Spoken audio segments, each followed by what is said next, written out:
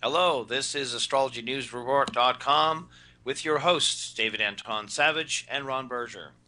Now we go to our third segment of this week's report People in the News, where we will analyze the Vedic astrology birth chart of a newsworthy person.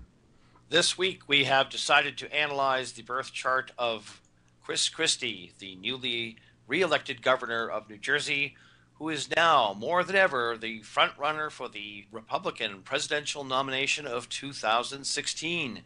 Governor Christie was born in Newark, New Jersey on September 6, 1962. There is no published birth time, so we had to rectify his chart. Based on the facts of his life, we have chosen a 10:30 p.m. birth time. So let's take a look at this chart and see how it fits with facts of his life story. Well, first off, we have Taurus as the rising sign. Certainly, the qualities of the sign of the bull seem to fit for Mr. Christie. This guy has a solid reputation for not backing down from anything or anybody. And when he gets mad, he will show you his horns. He even sports a thick neck, one of the physical attributes of Taurus rising. Uh, yes, and the position of the ruler of the ascendant is central to finding out one's true dharma in life. Here we see Mr. Christie's ascendant lord, Venus, is strongly placed in the other sign that it rules, Libra, in his sixth house. The sixth house is the house of difficulty, enemies, and work. Having the ruler of the sixth in the sixth is powerful for overcoming difficulties and defeating one's enemies. Venus is the planet of lawyers, and Libra is also associated with lawyers. The sixth house is the house of service. Governor Christie went to law school, and after a brief stint in a law firm, went into the public service sector when he became a U.S. attorney in 2002. Another interesting point here is that Venus is the planet of compromise. As a Republican governor dealing with a legislature controlled by the Democrats, Christie has to be able to compromise with his enemies. A strong Venus in his sixth house enables him to do this. And of course, he famously was so nice with Obama, which earned him the enmity of his fellow Republicans. How about that Scorpio moon in his seventh house? Hmm. Scorpio mm. is a very passionate sign. It is a sign that loves acquiring power. Scorpio is the sign of psychology, Having the moon in the seventh house means that your emotions can be overwhelming. Certainly, Governor Christie clearly demonstrates a powerful emotional nature. And people see you from the seventh house, and the moon represents the public. So, having his moon in the seventh puts him in front of the public. By the way, since the moon is a general signifier of mother, this prominent position for the moon indicates his mother would loom large in his life. In fact, Governor Christie has said his mom was definitely the driver in the family and his father was a passenger. Some other clues to his nature come from the rising nakshatra and the moon's nakshatra. We have chosen the 10:30 p.m. birth time because it gives him kritika on the ascendant and the moon in Jeshta. Kritika is associated with the mythological story of Kartikeya, who became the leader of the army that defeated the demons. As a U.S. attorney, Christie made a name for himself going after organized crime, government corruption, and fraud. Kritika is also known for cutting speech. The moon's lunar sign, Jeshta, is in the nakshatra associated with Indra. Indra, who is the uh, ruler of heaven, is also connected with defeating demons. In Vedic mythology, Indra is known as an irascible character who does whatever it takes to get the job done. The Sanskrit word jeshta is translated as being the most senior, i.e., destined to attain a position of authority and power.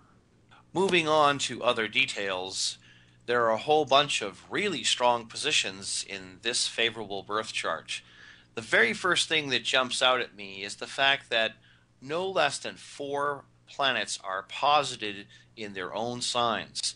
The Sun, Lord of the Fourth, is in the fourth in Leo. This gives a great deal of self assurance.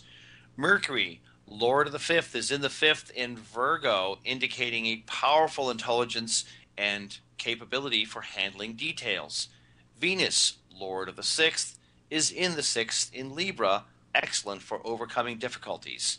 Saturn, Lord of the ninth, House of Destiny, is in its own sign, Capricorn, giving a powerful sense of destiny. The other thing to take note of is that the Sun, the Moon, and Jupiter are all in the Kendra houses, which contributes greatly to the dynamic quality of the chart, indicating success in life. Now, Rahu, the planet of ambition, is in his third house of self efforts, skills, and abilities. This gives him a whole lot of drive to get things done, and it helps to confirm that this is the correct chart in that the third house is the house of younger siblings.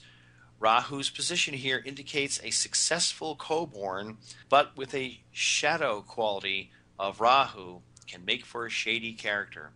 His younger brother is a very successful Wall Street broker who came under investigation for financial wrongdoing. Let's hope that his younger brother does not cause a scandal for him down the road. Hmm. Chris Christie first attained his high office by defeating the then incumbent governor Jon Corzine in 2009. Christie was in his Sun major period and Venus subperiod.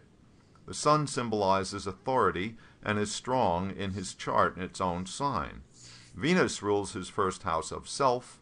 Placed in the other sign, it rules in the sixth house of enemies, and it gave him then victory over his opponent. This year, Christie is in his Moon major period and Jupiter subperiod, both of which are powerfully placed in the Kendra houses, and so he was easily reelected as New Jersey's governor. This shows how planets in Kendra houses work. His moon, the planet of the public, is there in his seventh house of how one is seen by others. His natal Jupiter is placed at the zenith of his chart in the 10th house of career and actions out in public.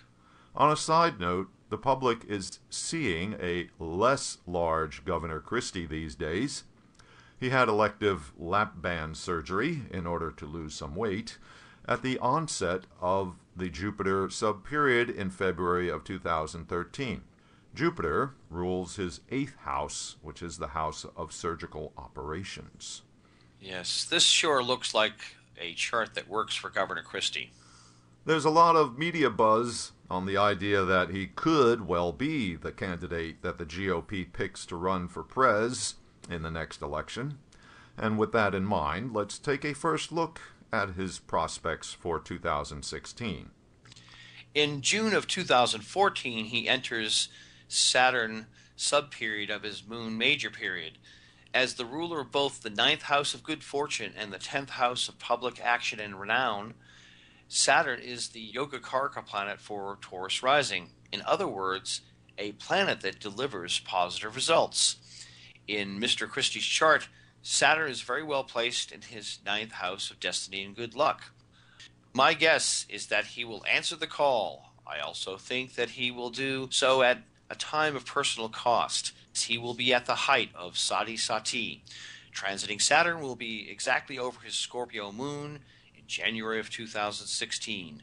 That's a really intense time for him, especially since his moon is already activated due to his moon major period. Well, since you have mentioned it, let's define the astrological principle of Sade Sati. It is a seven years long period during which Saturn transits the house before the natal moon's position, the moon's house itself, and the house after the moon's natal position. In general, it's a serious decision making time. So, yes, uh, candidate Christie would have some heavy pressure on him during those years. His run for the presidency will occur during his Mercury subperiod. Mercury is very well placed. It is exalted in his fifth house of intelligence and past life credit.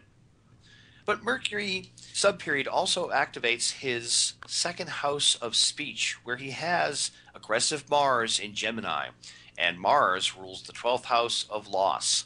He's already known for being quite prone to angry, blunt speech, which, although it can play well in an intense East Coast state like New Jersey, it's not going to appeal all the way across the country.